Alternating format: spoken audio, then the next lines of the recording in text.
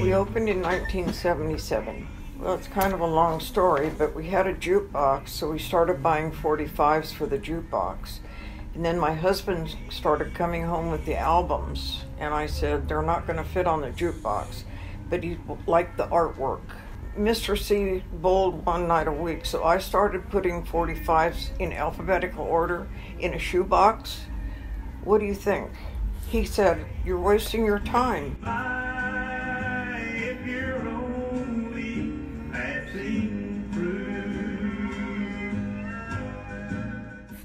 What kind of music do we? Yeah. Well, we like surf, 50s, 60s, jazz, anything that's old.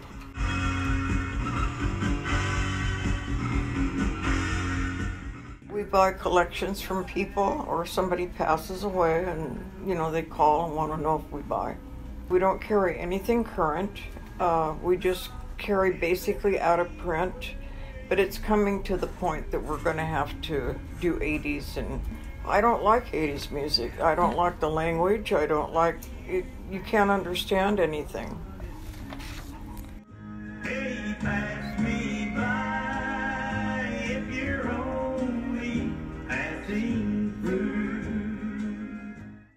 Oh, yes. Yes, we get a lot of repeat customers. Well, yes, because record players are coming back, and what I'm really seeing is mainly girls, maybe 16 to 20 they're coming in. I got a record player for my birthday. I got a record player for Christmas.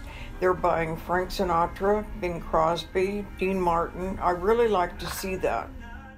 I don't really have a bestseller. It could be Led Zeppelin today, it could be The Doors tomorrow, and you, you never know.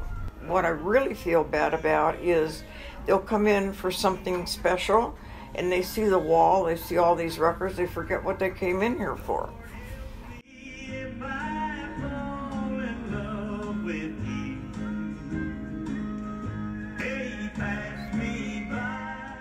My husband passed, Mr. C passed away. It'll be two years in November, and I'm trying to hold the store together. I'm still kind of uncertain what I'm going to do.